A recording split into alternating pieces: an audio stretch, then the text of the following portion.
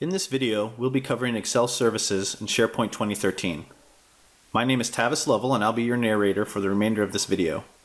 If you need to reach out to me, you can find me at tavis.lovell at rackspace.com, on my blog at www.tavislovell.com, or on Twitter at tavislovell.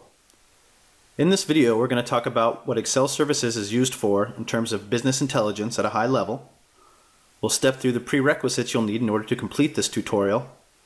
And finally, we'll walk through creating our own Excel services workbook and uploading it to SharePoint. So let's start by talking about what Excel services is used for. In its simplest form, Excel services allows users to view Excel workbooks uploaded to SharePoint directly inside of their browser. This enables users to view Excel documents even if they don't have Microsoft Excel installed on their local machine. In terms of BI, Excel Services is an easy to use ad hoc reporting tool for end users. It allows you to create workbooks that are connected to a variety of external data sources, including SQL Server databases and SQL Server Analysis Services cubes. Once connected to a data source, the workbook can then be refreshed, so you can be sure you're always looking at the most current data. One of the biggest advantages to using Excel services as your reporting tool is that more than likely, most users are already familiar with Excel at some level. This translates to a small learning curve in terms of users being able to create and navigate Excel services reports. One last point to note about Excel services is that you will need to have a SharePoint Enterprise license in order to take advantage of these features in your SharePoint environment. In order to successfully complete this tutorial, you'll need to have the following prerequisites a SharePoint 2013 environment with Excel services already configured. This includes setting up and associating an unattended service account. This configuration will not be covered in this video, however, it is covered in depth in the Business Intelligence chapter of the Wrox publication titled Professional SharePoint 2013 Administration.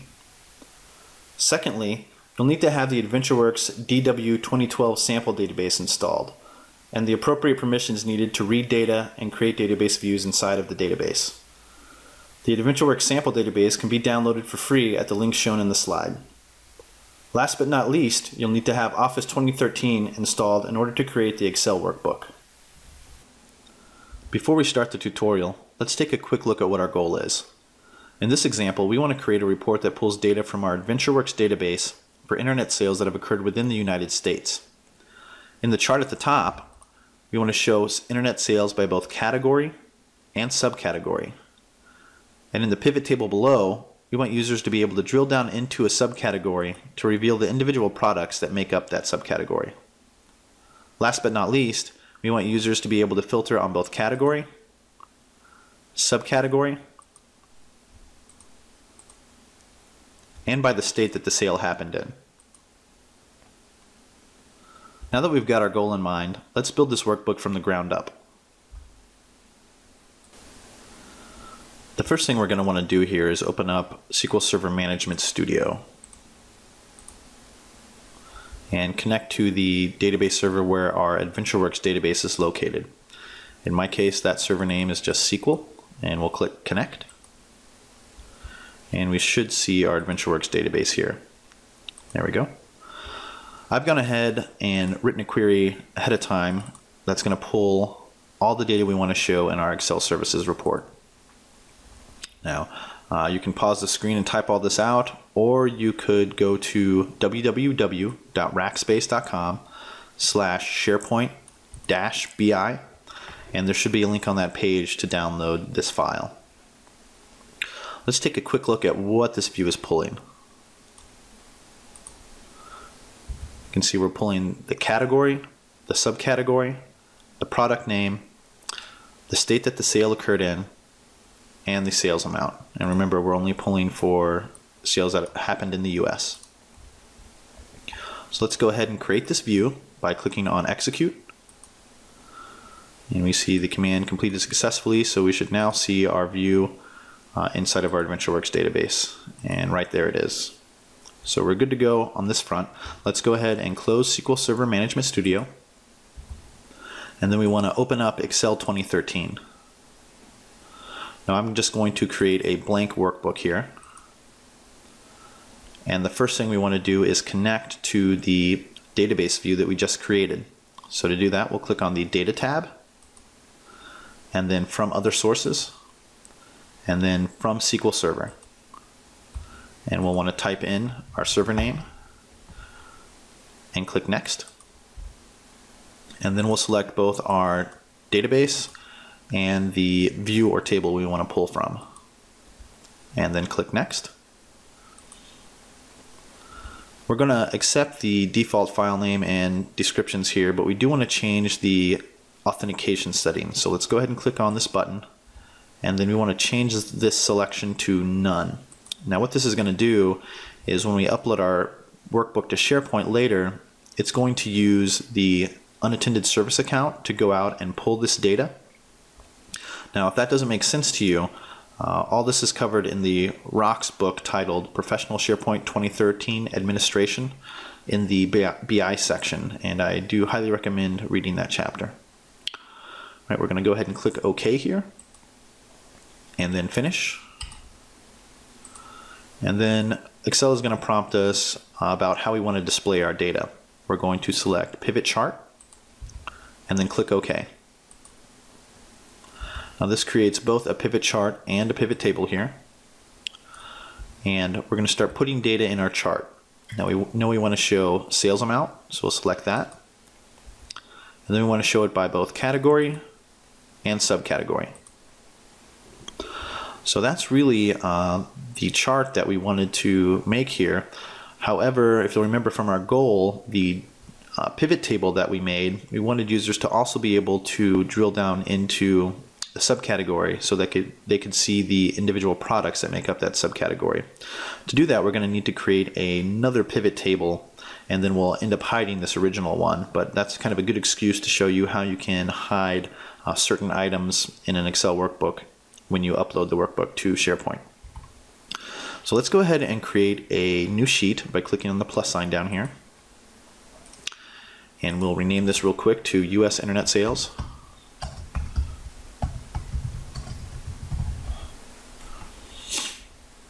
And my computer is catching up here. Okay, there we go.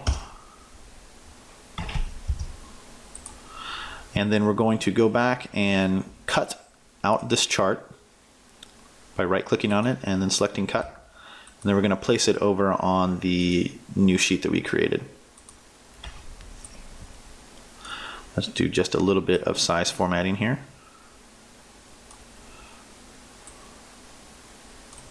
Right, that looks good. Uh, the next thing we want to do is create our new pivot table. So we'll just click on an empty cell where we want our pivot table to show up. And then we'll go to Insert up at the top and then Pivot Table. Now we want to use the same connection that we created right when we opened up this workbook. So we'll click Use an external data source and then choose Connection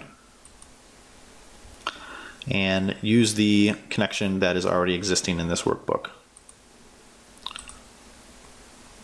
Then click OK out, and you'll see we've created our pivot table down here.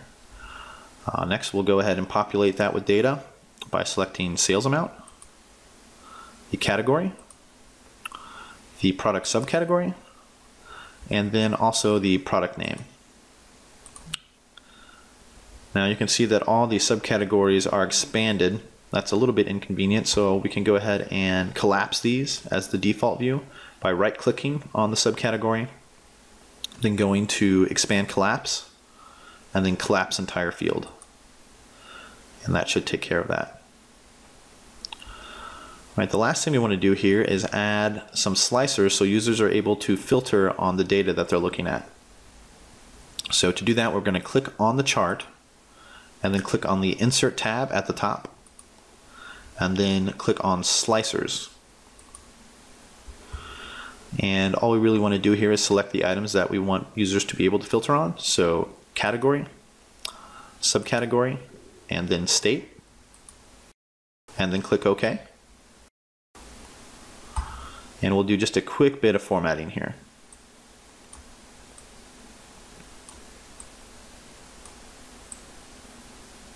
There we go. And we should see now when we filter things here that those changes are reflected in the chart, but note that they're not reflected in the pivot table below. So to get that to work, we're going to need to do a little bit more work here. We'll right click on the category slicer and then go to report connections. And we want to select the pivot table 2 item here. Click OK. And now when we filter on category, both the chart and table are being filtered. And I'm going to go ahead and repeat that process for both subcategory and state.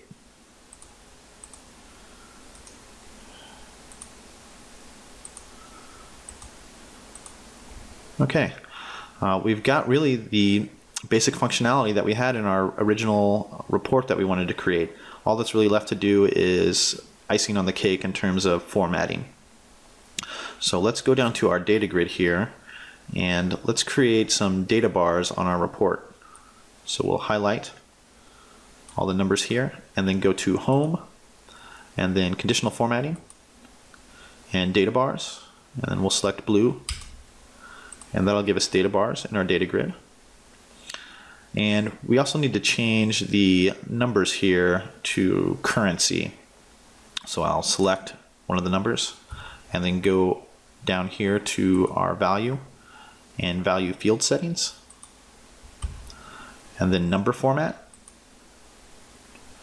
and select currency and we'll drop this down to zero decimal places and then click OK back out. And we'll repeat that for the chart at the top as well.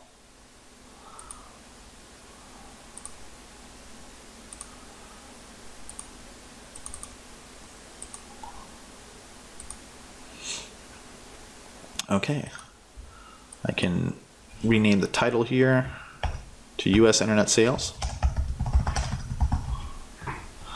And you'll remember the chart looked a little bit different in our uh, original report. So if we click on the chart and then go up here to design, we have a whole bunch of different options up here that we can use for charts. I think I used this one originally.